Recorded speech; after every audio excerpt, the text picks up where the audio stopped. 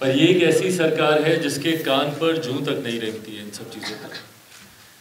मेरे मुख्यमंत्री या बिहार सरकार को फ़र्क ही नहीं पड़ता है कि कौन बिहारी जी रहा है या कौन बिहारी मर रहा है। और इसी के साथ जिस तरीके से आपराधिक गतिविधियाँ बिहार में बढ़ती जा रही हैं, भले वो शराब माफिया हो, भले वो बालू माफिया हो या भू माफिया इन तीन माफियाओं की गिरफ्त में आज की तारीख में बिहार सरकार है। और कल जब मेरे मुख्यमंत्री एक कार्यक्रम में अपने एक मंत्री को बोल रहे थे कि आप किसी और की नहीं, हमारी सुनिए। भाई, पहली बात तो उनके मंत्री सुन किसकी रहे हैं? जो मुख्यमंत्री को एक सार्वजनिक मन से इस बात के लिए टोकना पड़ा कि आप हमारी सुनिए। किसकी सुन रहे हैं वो मंत्री? मुख्यमंत्री को ये बात भी स्पष्ट करनी चाहिए, भाई, अभी तक तो हम लोग तो इतना ही जानते थे कि कोई मुख्यमंत्री हो या प्रधानमंत्री हो उनके मंत्रिमंडल में, जितने कार्य होते हैं वो तमाम नेतृत्व की जानकारी से और उनके सहमति से ये कार्य होते हैं। पर ऐसे में अगर सार्वजनिक तौर पर एक मंत्री महोदय को मेरे मुख्यमंत्री को टोकना पड़ा है तो ये दर्शाता है कि संभवतः बिहार सरकार अब मेरे मुख्यमंत्री के भी नियंत्रण में नहीं। अब उनको कौन सा माफिया चला रहा है? पिछले दिनों हम लोगों ने जिस तरीके से दो घटनाएँ देखी, और हमारे ही लोकसभा की ये दोनों घटनाएँ हैं। आज अभी हम जा रहे हैं प्रभात रंजन जी के जो दरोगा जिनका, जिनकी हत्या, और ये सब हत्या की ही श्रेणी में भाई। शराबबंदी से कोई मरे, बालू माफिया के साथ झड़प में कोई मर, मरे या इस तरीके से ट्रक को भगाते हुए उसके नीचे कोई कुचल कर कोई मरे। ये तमाम बातें, ये तमाम बातें हत्या की श्रेणी में ही आती हैं। और जिस तरीके से प्रभात रंजन जी की हत्या दो दिन पहले की गई भैया उस अवैध बालू खनन। और ये कौन नहीं जानता? This is like an open secret प्रदेश में हर कोई इस बात को जानता है कि किस तरीके से बालू का अवैध खनन बिहार के हर एक ज़िले में हो रहा है ये तो वो प्रमाण है जो सामने आए और जिसने इस बात को दर्शाया कि भैया अवैध बालू खनन किस तरीके से हो रहा है और ट्रक दौड़ान दौड़ाने के क्रम में किस तरीके से उन दरोगा की हत्या हो गई कुछ दिनों पूर्व जमुई में ऐसे ही एक पुल ध्वस्त हो गया था, मेरे मुख्यमंत्री गए भी थे। और वहाँ पर उनको विरोध का सामना भी उनको करना पड़ा था। क्यों ध्वस्त हुआ? क्योंकि उसके आसपास के पिलर्स के आसपास जितना बालू था, उसका खनन किया जा रहा स्थानीय ग्रामीणों ने, हम लोगों ने भी इस पर चिंता जताई थी कि भाई अगर ऐसे ही होता रहा तो ये पुल को नुकसान देगा, और वो हुआ उसके बाद। कितनी बार इस पर आवाज़ उठाने के बावजूद बालू के टेंडर की प्रक्रिया में जिस तरीके से भ्रष्टाचार हो रहा है, जिस तरीके से बालू का अवैध खनन हो रहा है, भाई मेरे मुख्यमंत्री वैसे तो सीधा कंपटीशन करेंगे प्रधानमंत्री से। कि प्रधानमंत्री एनवायरमेंट को लेकर इतने चिंतित हैं, देश विदेश में जाकर बैठकें करते हैं, दुनिया को इसके बारे में जानकारी देने का वो प्रयास कर रहे हैं तो उसी क्रम पे तुरंत वो आ जाएँगे कि अरे, जल जीवन हरियाली हम आज से कर रहे हैं, कब से कर रहे हैं? तो क्या हुआ भैया जल जीवन हरियाली करने से? सिर्फ़ एक नाम की माला जपने से नहीं ना होगा कि हम जल जीवन हरियाली, जल जीवन हरियाली, आने वाली पीढ़ी को आप क्या सौंप कर जा रहे हैं भाई? मुख्यमंत्री तो आज है, कल नहीं रहेंगे मुख्यमंत्री के पद पर। पर इनकी गलत नीतियों का खामियाजा आने वाली पीढ़ियाँ सदियों तक भुगतेंगी। क्या इस बात का होश है मेरे मुख्यमंत्री को? आप एक सुखाड़ प्रदेश के रूप में बिहार को आप सौंप कर जाइएगा आने वाली पीढ़ी को। आज कृषि प्रधान प्रदेश है हमारा। एग्रीकल्चर को लेकर, यहाँ के किसानों को लेकर हम लोग गर्व महसूस करते हैं कि भैया देश में, दुनिया में हम खाद्यान्न पहुँचाने का हम काम कर पर आने वाले दिनों में सुखाड़ प्रदेश ये बन जाएगा। वाटर लेवल से इतने नीचे जाते जा रहे हैं। पहले हम लोग हैंडपंप से हम लोग काम चला लेते, आज आके देखिए गाँव देहात में कहीं पे हैंडपंप काम कर रहा है। हर एक जगह बोरिंग की मांग होती है। क्यों? क्योंकि वो वाटर लेवल इतना नीचे जाता जा रहा है। तो आने वाले दिनों में ऐसे ही अगर चलता रहा, और बालू खुले आम हम लोग देखते हैं, आप चले जाइए हाईवे पे, आप चले जाइए गाँव देहातों ट्रक के ट्रक भरे हुए निकल रहे हैं, और दिन दहाड़े। चिंता की बात यह है कि ये तमाम बातें दिन दहाड़े होती हैं। आप चले जाइए किसी भी नदी के किनारे, वहाँ पे दिन में ही आपको ट्रक लगे हुए दिखेंगे। तो क्या कर रहा है भैया, स्थानीय प्रशासन? क्या ये स्थानीय प्रशासन के संरक्षण में नहीं हो रहा? है जमुई में तो कम से कम मैं दावे के साथ आपको कह रहा हूँ, क्योंकि दो दिन में दो हत्याएँ हुई है वहाँ पर। एक तो प्रभात जी, जिनका हमने ज़िक्र किया, अभी दरोगा जो थे वहाँ पर। उसके बाद एक युवक, नौजवान युवक, जिसकी कल पटना में हत्या हो गई। अब इसका दोषी कौन बताइए कल हम और अरुण बाबू वहाँ पे गए थे, जब उसका इलाज वहाँ पे चल रहा था। दिन भर हम लोग लगे कि भाई कैसे उसको खून दिया जाए? पार्टी के तमाम कार्यकर्ता दिन भर इसी में लगे रहे कि दो यूनिट, तीन यूनिट खून कैसे उसको वहाँ पे उपलब्ध करा दिया जाए? उसके बावजूद उसकी जान को वहाँ पे डॉक्टर्स नहीं बचा पाए। डॉक्टर्स तो तब बचा पाते जब डॉक्टर्स वहाँ पे होते। लगभग पौना घंटा तक हम खुद वहाँ पे मौजूद थे। और पौने घंटे तक किसी डॉक्टर ने वहाँ पर आना वहाँ पे ज़रूरी नहीं, नहीं समझा। ये यहाँ के अस्पतालों के हालात और ऐसे अस्पतालों का रजिस्ट्रेशन हो जाता है इनको लाइसेंस मिल जाता है काम करने के लिए। और पलट कर कोई देखना तक ज़रूरी नहीं समझता कि क्या उन अस्पतालों में ठीक से इलाज हो रहा है कि नहीं हो रहा क्या ये चिंता का विषय नहीं है? भाई हम सब के घर परिवार में कभी ना कभी कोई ना कोई बीमार पड़ता है। और अगर इस पे आज अगर हम लोगों ने आवाज़ नहीं उठाई तो एक एक एक एक करके आज दूसरों के परिवार के लोग गए कल को हमारे परिवार के लोग जाएँगे। पर यह व्यवस्था यहाँ पर ऐसी ही बनी रहेगी। कल हमारा वो वीडियो आप सब लोगों ने देखा होगा। भाई, हम किसी को दुखाने, दिखाने के लिए हम गुस्से में नहीं थे, स्वाभाविक है भाई।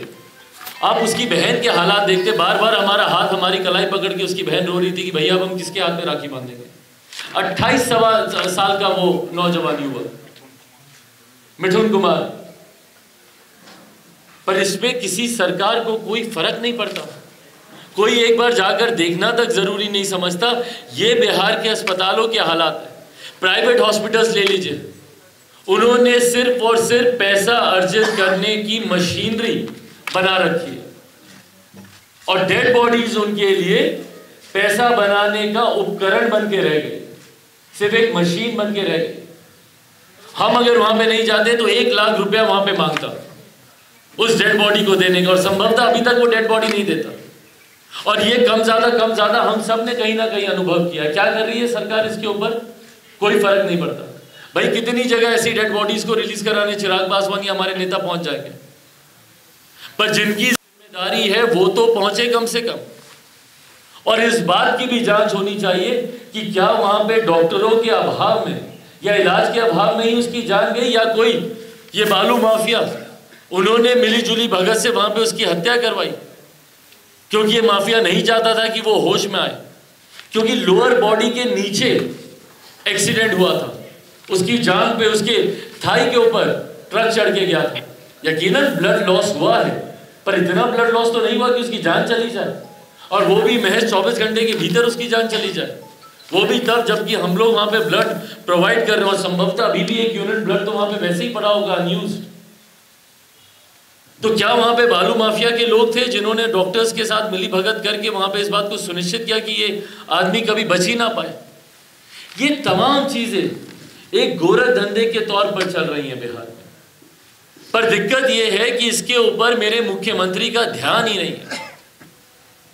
मेरे मुख्यमंत्री का ध्यान है कि भैया वो कैसे अश्लील बातें कर ले बिहार की विधानसभा में, जिसको हम लोग दोहरा तक नहीं सकते। और मेरे मुख्यमंत्री का ध्यान है कि कैसे समाज के वंचित शोषित वर्ग, जो संभवतः आज उनके साथ कतई नहीं है, कैसे उनको अपमानित करने का काम किया जा सके। जिस तरीके से उन्होंने पूर्व मुख्यमंत्री आदरणीय जीतन राम मांझी जी को बिहार की विधानसभा में अपमानित करने का काम किया। पहली बात तो मुझे इस भाषा से ही एतराज़ है। भैया, विरोध कीजिए, मैं खुद विरोध करता हूँ। मैं अभी क्या कर रहा हूँ? विरोध कर रहा हूँ मेरे मुख्यमंत्री का। पर ये तू तड़ा की भाषा भैया, बिहारियों में कहाँ से आ गई है? भाई, हमको सुनाया जाता है कि ये शहरी लड़का है, दिल्ली में पला बड़ा, ये जानता है कुछ। पर कभी हमारी ज़ुबान से आपके अलावा आप कोई और शब्द सुन लीजिए, क्योंकि यही हम लोग की संस्कृति है। हम तो अपने घर के बच्चों में, और ये हमारी ही नहीं भाई, हर बिहारी की संस्कृति है। अपने बच्चों से हम लोग आप करके हम लोग बात करते हैं। बेटा, आप क्या खाइएगा, कहाँ आइएगा, कहाँ जाइएगा, ये करके हम लोग बच्चों से हम लोग बात करते हैं। तो ये तू तड़ाक की भाषा कहाँ से आ गई भाई? जिस तरीके से हर किसी को। भाई, हम लोग तो चलिए उम्र में छोटे हैं, जब हमको ये वो लोग बोलते हैं, अरे, इसको कुछ आता है, इसको कुछ जानता है, चलिए ठीक है, कोई बात नहीं, उम्र में छोटे आप बड़े कुछ भी बोल लीजिए। पर माझी जी तो उम्र में आपसे बड़े हैं। सीनियोरिटी में आपसे बड़े हैं। उनके ऊपर इस तरीके की भाषा का इस्तेमाल करना इसको कोई जानता था इसको कौन बनाया इसको क्या किया आप दोहरा तक नहीं सकते उन बातों को। ये एक मुख्यमंत्री को शोभा देता है भाई हम इस बात को इसलिए बोल रहे हैं क्योंकि ये बातें बिहारियों को शर्मसार करती हैं। आप देश के दुनिया के किसी भी कोने में चले जाइए। हम तो जा ही रहे हैं दुनिया के अलग अलग कोनिया को, कोने में बिहारी डायस्पोरा से मिल ऑस्ट्रेलिया में थे अगले हफ़्ते हम सिंगापुर जा रहे हैं। हर एक जगह बिहारी डायस्पोरा से हमारी बातचीत हो रही। उनसे राय मशवरा कर रहे हैं कि भैया किस तरीके से बिहार को हम लोग आगे बढ़ा सकें। पर वहाँ पर जाकर सबसे पहले मुख्यमंत्री जी के इस व्यवहार के बारे में हम लोग शर्मिंदा होते हैं। और यही हालात देश में लोग हँसते हैं हम लोगों के ऊपर। दो दिन तक तो ये वीडियो चलकर बंद हो गया मुख्यमंत्री का। पर आज तक हम लोगों का मज़ाक उड़ाया जाता है। चले जाइए दिल्ली में, चले जाइए मुंबई में, कहीं पे भी। आज तक हम लोगों का मज़ाक उड़ाया जाता है। क्या बोल रहे थे भाई मुख्यमंत्री? हाँ क्या बात कर रहे थे? ये बातें पूछ पूछ कर हम लोग को शर्मिंदा हम लोग को किया जाता है। पर हकीकत है, ये मानसिकता दर्शाती है हमारे मुख्यमंत्री। माझी जी का विरोध, माझी जी का विरोध करने के लिए नहीं, मानसिकता है कि भाई एक दलित समुदाय से आने जिसको हमने दलित ही नहीं, दलितों में भी सबसे ज़्यादा पिछड़ा हम लोगों ने मान लिया। और हमने उसको महादलित की श्रेणी दी। ये अहंकार मेरे मुख्यमंत्री का। कि हमने जिसको महादलित की श्रेणी दी, वो आज हमारे सामने विधानसभा में खड़े होकर कैसे चर्चा का हिस्सा बन रहा है। ये अहंकार था उनको नीचा दिखाने का, उनको ये बताने का कि अरे हम तुमको बनाए, तुम्हारी क्या बात है? तुम कैसे ये सारी बातें कर और इसी मानसिकता का ज़िक्र आज से नहीं, लंबे समय से मैं मेरे मुख्यमंत्री की इस मानसिकता का ज़िक्र कर रहा हूँ। जिसका कारण रहा कि मुख्यमंत्री के साथ जाने से बेहतर भले अकेले चुनाव लड़कर इस बात को जानते हुए कि संभवतः बहुत ज़्यादा लाभ नहीं होगा, पर अकेले चुनाव लड़ना मैंने पसंद किया था 2020 में, पर मुख्यमंत्री के साथ जाना स्वीकार नहीं किया मैंने। यही कारण था उस वक्त संभवतः मेरे पास भाई बहुत ज़्यादा प्रमाण नहीं थे अपने आप को सही साबित करने के। जिसका कारण बना कि मेरे अपने परिवार के लोग, मेरे अपने पार्टी के लोग मुझे छोड़कर चले गए। क्यों छोड़कर चले गए? यही ना, यही कह के छोड़कर चले गए थे ना? कि भाई हम लोग तो एनडीए के साथ लड़ना चाहते थे, मुख्यमंत्री नीतीश कुमार जी के नेतृत्व में हम लोग लड़ना चाहते थे। यही कह के मेरे सारे सांसद छोड़कर गए ना मुझे। कैसे लड़ लेता मैं? कैसे मुख्यमंत्री के नेतृत्व में? जिन्होंने सिर्फ़ दलित होने की वजह से मेरे नेता को अपमानित करने में कोई कसर नहीं छोड़ी? आप लोगों के पास अभी भी वो विश्वास होंगे, जब मेरे नेता अस्पताल में वेंटिलेटर पे ज़िंदगी की आखिरी घड़ियाँ गिन रहे थे, उस वक्त मेरे मुख्यमंत्री मुस्कुरा कर आप लोगों के सामने बोल रहे थे अच्छा वो अस्पताल में? हमको तो मालूम ही नहीं है। जबकि वो एक ऐसा समय था जब देश के राष्ट्रपति से लेकर प्रधानमंत्री से लेकर हर व्यक्ति उनके स्वास्थ्य की जानकारी लेने के लिए हमको फ़ोन कर रहा था या अस्पताल में आने का काम कर रहा था।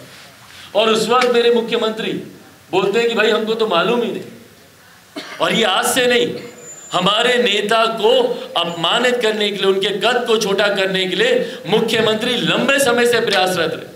2005 में पार्टी को तोड़ने का क्या कारण था भैया? यही कारण था। कि एक दलित व्यक्ति कैसे आगे आ गया? कैसे बिहार की जनता ने उनतीस सीटें उसको जीत के दे दी? ये तो गलत है। एक दलित नेता की पार्टी उनतीस सीटें सीटें जीत जाए। कैसे ये संभव है भाई? तोड़िए इसकी पार्टी को। और 2005 में भी हमारे नेता की पार्टी को तोड़ने का काम किया। उसके बाद हमारे पार्टी के विधान पार्षद जो आज उनकी पार्टी में बड़े नेता बने फिरते हैं कहाँ से गए? किसको तोड़ को, कौन तोड़ के लेके गया भैया? यहीं से ना गए हैं। उसके बाद अभी आखिर आखिर तक हमारा एक विधायक मटिहानी से जो जीत के आया। कि भाई रामविलास पासवान का खून है ये। कैसे ये आगे बढ़ जाएगा? खत्म करो इसको। हमको खत्म करने के लिए क्या क्या षड्यंत्र नहीं रचा गया? हमारी पार्टी, हमारे परिवार को तोड़ना। आज जितने लोग ये कहते नहीं थकते कि भाई चिराग पासवान तो उसी की गोद में जाकर बैठ गया जिसने इसका घर खाली कराया किसने घर खाली कराया भाई? जाकर पूछ लीजिए भाजपा के नेताओं से। और जिस तरीके से प्रधानमंत्री ने इस बात को सार्वजनिक किया है, वो दिन भी दूर नहीं, जब प्रधानमंत्री संभवतः इस बात को भी सार्वजनिक करेंगे। कि किसके दबाव में घर खाली करवाया गया? किसके दबाव में घर से तस्वीरों को बाहर फेंका गया? कौन नहीं जानता भैया कि मुख्यमंत्री किस तरीके से उस वक्त ब्लैकमेल कर रहे थे कि भाई चिराग को खत्म कीजिए क्योंकि अकेले चुनाव लड़ा और हमको तीसरे नंबर की पार्टी बना दिया। उनके राष्ट्रीय अध्यक्ष का तो ये दर्द रह रहे कि अभी भी निकलता उनकी ज़ुबान से। Chirag model Chirag model Chirag model. चुनाव को बीते हुए तीन साल हो गया, अभी तक चिराग मॉडल के दर्द से लोग उभर नहीं पाए। और उसका बदला लेने के लिए घर खाली करवाओ इसका। सड़क पे सामान को फेंकवाओ। पर ये, इसकी जड़ में, ये वो मानसिकता है। दलित विरोधी मानसिकता जिसका ज़िक्र हमारे प्रधानमंत्री जी ने उस दिन तेलंगाना की सभा में भी किया। उस दिन उन्होंने इस बात को प्रमुखता से बताया। भाई, मेरे सांसद जो छोड़कर गए, हर कोई इस बात को जानता था, पर अगर नहीं जानता तो आज प्रधानमंत्री के मुख से सुन के विश्वास कर लीजिए। क्योंकि उस वक्त तो इस बात का भी भ्रम फैलाया जाता था कि संभवतः चिराग पासवान झूठ बोल रहा कुछ ऐसा नहीं हुआ था। क्योंकि इस बात के गवाह सिर्फ़ मैं, मेरे पिता, मेरी माँ और उस वक्त जो मेरे पिताजी के एक सहयोगी थे, मीना साहब, वो थे। वो लोग जानते थे कि किस तरीके से राज्यसभा के नामांकन के वक्त मुख्यमंत्री जी ने पूरी तरीके से उनको समर्थन देने से मना कर दिया था, जबकि ये सारी बातें गठबंधन के भीतर 2019 में ही हो गई थी। और उस वक्त के भारतीय जनता पार्टी के राष्ट्रीय अध्यक्ष मौजूदा केंद्रीय गृह मंत्री आदरणीय अमित शाह जी के सामने हो गई थी। किस तरीके से मेरे पिता को ह्यूमिलेट किया गया था। और मैं शब्द का इस्तेमाल कर रहा हूँ ह्यूमिलेट कैसे उसके बाद एक पुत्र ये बर्दाश्त कर लेता? और ये सोच मेरे मुख्यमंत्री की रही है बार बार कि भाई इन लोग को अपमानित करो, इन लोग को प्रताड़ित करो। क्यों? क्योंकि ये लोग भले ही अपमानित, प्रताड़ित होने के लिए। और ये लड़ाई एक रामविलास पासवान या एक जीतन राम माझी या एक चिराग पासवान की नहीं है।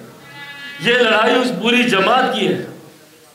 ये लड़ाई पूरे उस अनुसूचित जाति, जनजाति वर्ग की है, जिसको मेरे मुख्यमंत्री प्रताड़ित करने का काम करते हैं। आज आप आंकड़े निकाल कर देख लीजिए भैया। आप आंकड़े निकाल कर देख लीजिए। 67 प्रतिशत अत्याचार बढ़े हैं। मेरे मुख्यमंत्री के शासनकाल में अनुसूचित जाति, जनजाति वर्ग के ऊपर। ये ये हालात बना के रख दिए। आज आप चले जाइए कहीं पे भी। सबसे ज़्यादा हत्याएँ किसकी हो रही है भैया? पासवान समाज। दलित, महादलित वर्ग से आने वाले लोगों की हत्याएँ हो रही है। पासी समाज के एक बड़ी आबादी को जेल में बंद कर रखा है। क्यों? ताड़ी बेचने के आरोप में। और जो शराब बेच रहा है वो खुलेआम घूमेगा। और यहाँ झूठे आरोपों में दलित समाज के लोगों को इन्होंने बंद करके रखा हुआ चौकीदारों की हत्याएँ हो रही दलित समाज से आने वाले जवान लड़के, लड़कियों की गला रेत हत्या कर दी जाती है। लड़कियों के साथ बलात्कार कर दिया जाता है। और उसके बाद द वर्स्ट पार्ट कि एक एफआईआर तक दर्ज नहीं होती। ये दिशा निर्देश है मेरे मुख्यमंत्री नीतीश कुमार जी। और ये खास तौर पर किया जा रहा है इस समाज को। इनकी सोच है कि भैया इस समाज को सबक सिखाया जाए। ये समाज आ रहा है ना बड़ा। नरेंद्र मोदी के समर्थन में चिराग पासवान बात कर रहा है माझी जी उस तरफ़ जा रहे हैं। तो दिखाया जाए समाज और इसीलिए इन लोगों को और ज़्यादा प्रताड़ित किया जा रहा है। और इसी बात का उल्लेख उस दिन मेरे प्रधानमंत्री कर रहे थे। जब उन्होंने मेरे नेता का उदाहरण देते हुए, या मांझी जी का उदाहरण देते हुए, जब उस दिन उन्होंने अपने वक्तव्य में कहा तो यही बात वो कहना चाह रहे थे कि किस तरीके से दलित विरोधी सोच मुख्यमंत्री नीतीश कुमार जी की और ये मानसिकता उनकी है, भाई, बंद कमरे में कई बार मैंने भी उनसे बातचीत की उनके शब्दों में ये आता है, कितनी जातिवादी सोच मेरे मुख्यमंत्री रखते हैं। तो क्या ऐसे मुख्यमंत्री को इस पद पे रहना चाहिए? जो मुख्यमंत्री अपने ही प्रदेश के लोगों को एक बिहारी नहीं, एक जाति का समझकर मरने के लिए छोड़ देते। जो मुख्यमंत्री अपने बिहारियों को ही सुरक्षित नहीं रख पाते हो, ना शराब माफिया से, ना भू माफिया से, ना बालू माफिया से। आंकड़े देख लीजिए। भाई, इनको तो छोड़ दीजिए। और तो और। सुरक्षा कर्मियों तक को ये सुरक्षित नहीं रख पाते। पिछले साल, डेढ़ साल में इक्यावन सुरक्षा कर्मियों की हत्या हुई है। और उसी विभाग के मुख्यमंत्री हैं नीतीश कुमार जी। क्या शोभा देता है इनको इस पद पे बने रहना या गृह विभाग की ज़िम्मेदारी देना जब इन्हीं के ही विभाग में फिफ्टी वन इक्यावन पुलिस कर्मियों की हत्या हो गई? और जनवरी 2022 से लेकर 30 अगस्त 2023 तक चौदह बार वन फोर एट एट एक हज़ार चार सौ अट्ठासी बार पुलिस कर्मियों के ऊपर अटैक हुए हैं। क्या कर रहे हैं मेरे मुख्यमंत्री? और कौन अटैक कर रहे हैं भैया ये? बालू माफिया, भू माफिया और ये शराब माफिया। यही लोग ना अटैक कर रहे हैं। एक बालू माफिया जिसकी गिरफ्तारी हुई हो, बता दे मेरे मुख्यमंत्री। एक शराब माफिया जिसकी गिरफ्तारी हुई हो, बता दे मेरे मुख्यमंत्री। या एक भू माफिया जिसकी गिरफ्तारी हुई हो, बता दे मेरे मुख्यमंत्री। जिन मुख्यमंत्री के पास फुर्सत ही नहीं है बिहार और बिहारियों की चिंता करने की, ऐसे में वो मुख्यमंत्री क्यों है इस पर? इसीलिए बार बार हम लोगों ने आग्रह किया है कि बिहार में राष्ट्रपति शासन लागू करना चाहिए। आने वाले दिनों में जैसे ही महामहिम राज्यपाल जी से हम लोग को समय मिलता है, लोक जनशक्ति पार्टी रामविलास का एक शीर्ष प्रतिनिधि मंडल हमारे तमाम वरिष्ठ नेताओं के नेतृत्व में जाकर महामहिम राज्यपाल जी से मिलेगा और इन तमाम बातों की जानकारी उनके समक्ष रखेगा कि किस तरीके से माफिया राज बिहार में हावी और किस तरीके से समाज के वंचित वर्ग से आने वाले लोगों को प्रताड़ित किया जा रहा है। उनकी हत्या कर प्रमोशन में रिजर्वेशन की बात मेरे मुख्यमंत्री करते रहे। कितनों को मिल रहा है भैया प्रमोशन में रिजर्वेशन? कितने लोगों को मिल रहा है प्रणोति में आरक्षण? आप जाकर देख लीजिए। उसमें रिजर्वेशन प्रमोशन में मिलना तो दूर की बात है भैया बैकलॉग तक ये लोग कंप्लीट नहीं कर पा रहे लाखों की संख्या में रिक्त पद पड़े हुए हैं, जिसको अभी तक ये लोग भरने में ये लोग अक्षम है। अभी तक ये लोग उसकी भरपाई नहीं कर पा रहे। ये बार बार ये उदाहरण है जो मैं आपके समक्ष में रख रहा हूँ। ये उदाहरण इस बात को स्थापित करते हैं कि कितनी जातिवादी सोच मेरे मुख्यमंत्री रखते हैं। और समाज के वंचित, शोषित, दलित, पिछड़ा वर्ग से आने वाले लोगों को ये हाशिए पर ही मेरे मुख्यमंत्री बनाए रखना चाहते हैं। इसी क्रम में पार्टी के शीर्ष नेताओं का एक प्रतिनिधि मंडल जाएगा, महामहिम राज्यपाल जी से लिखित रूप में आग्रह करेगा कि बिहार की मौजूदा परिस्थिति को देखते हुए और मेरे मुख्यमंत्री की मानसिक परिस्थिति को भी देखते हुए। और मैं पुनः दोहराता हूँ, इसको मैं तंज या व्यंग के तौर पर नहीं बोल रहा हूँ। नहीं है उनके हालात ठीक। एक मुख्यमंत्री खुले मन से इस तरीके से बोलेंगे, भैया, कि आप हमारे मंत्री, हमारी बात सुनिए। भाई, वो आपकी बात ही सुनने के लिए बने हैं, वही मंत्री है वो। और आप मुख्यमंत्री, जिस तरीके से आप लोगों के सामने नतमस्तक होकर झूल झूल कर प्रणाम कर रहे थे, ये एक मुख्यमंत्री की बॉडी लैंग्वेज है क्या? उस बॉडी लैंग्वेज को तो भूल ही जाइए जो विधानसभा में उनकी बॉडी लैंग्वेज पर किस तरीके से झूल झूल के प्रणाम करते हुए आप लोग के सामने निकल गए, ये मुख्यमंत्री की बॉडी लैंग्वेज है। ये एक दस साल का बच्चा ऐसे बर्ताव ना करे। जैसा मेरे मुख्यमंत्री बर्ताव कर तो इन तमाम परिस्थितियों को बिहार की और मेरे मुख्यमंत्री की मानसिक परिस्थितियों को देखते हुए हम लोग महामहिम से हम लोग आग्रह करेंगे कि बिहार में राष्ट्रपति शासन लागू करने की सिफारिश वो केंद्र सरकार से करें, क्योंकि मेरे मुख्यमंत्री से कम से कम अब बिहार नहीं समझ अच्छा आशीर्वाद इजी कॉन ग्रुप भरोसे का दूसरा नाम। हम सिर्फ़ घर नहीं, खुशियाँ भी बनाते हैं। आशीर्वाद रोज वैली, जिसमें है premium flats with all modern amenities Patna में लेना चाहते हैं अपने सपनों का आशियाना तो कीजिए हमारे इन नंबरों पर संपर्क।